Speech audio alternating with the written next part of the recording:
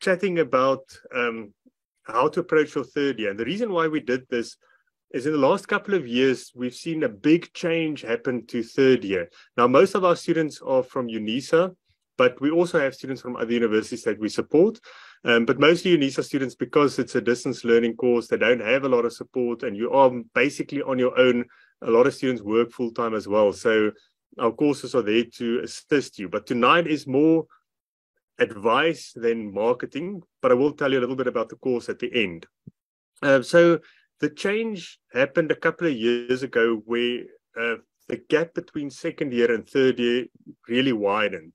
And a lot of students started failing their third year because they got caught out or they were surprised when they go into the final exam and then saw it was so different from second year. So the the biggest changes with this the way that the questions are asked. The theory is the same. A lot of the um, study guides or the TUT letters stay the same. We will chat about some of the changes tonight, and Claudia will chat about FINAC uh, 3764 specifically, and the new courses that we introduced this year to your, your final year. Um, but the change, so, so for management accounting, for instance, we are waiting for the TUT letter for 2023, but for 2022, for instance, it was still the same as 2017. Nothing really changed. That just threw the two semester modules together to form the year module. So the biggest change was the way that the exams were asked, the, the style of questions. There were a lot more discussion questions. Um, Claudia, I, I mean, what have what have you seen for the financial accounting? So, firstly, uh, welcome everyone. Lovely to have you joining us.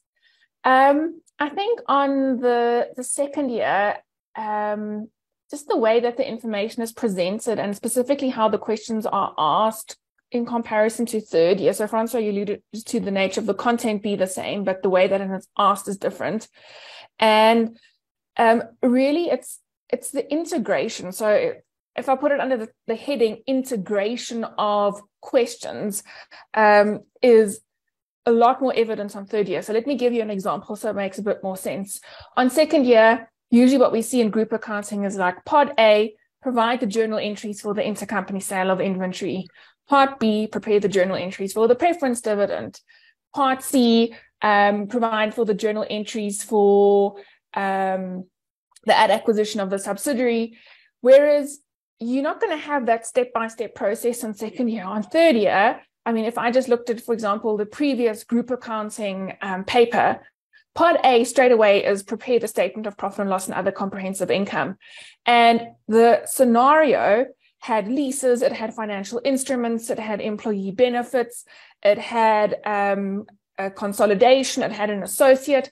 So there's so many things happening in the scenario, and you can't just read this section and then there's a required that deals with this section.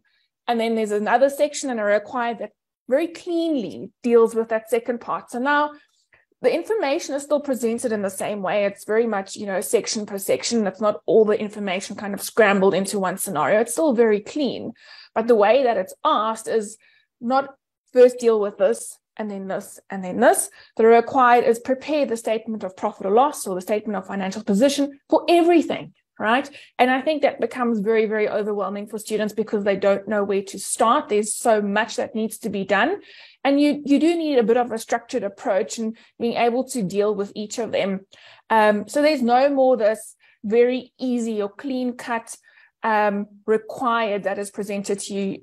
Every the the required as such, what's going to be asked for you, asked from you is in a very integrated format.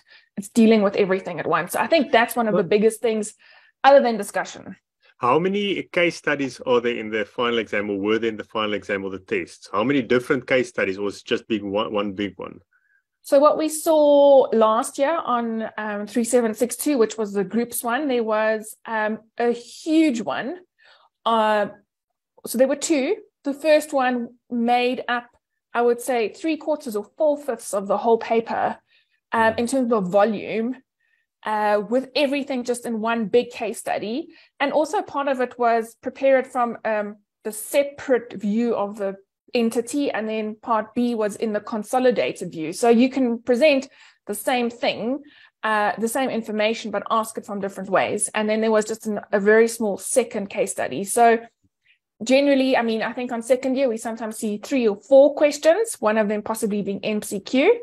Right here, it's just um, usually two, of which one is quite big. That's the same for management accounting. I've seen the last couple of years, and that applies to the semester modules, but as uh, uh specifically the year module as well is that there's either just one case study for 100 marks. You have to read this one case study, five or six pages, and then there's, say, from A to G or A to I, different questions on that big case study. Like Claudia said, it's still section by section. So if you look carefully, you'll see there are headings, and then this you can see is the activity based costing information and this is maybe the the weighted average cost of capital information sometimes they split it into two so you've got your financial management and costing or they mix the two but there's two scenarios but certainly very different from second year where you knew ah this is the calculate net present value or calculate the weighted average, average cost of capital or calculate these ratios for the financial statements and comment on each one for certain marks and they give you the the breakdown.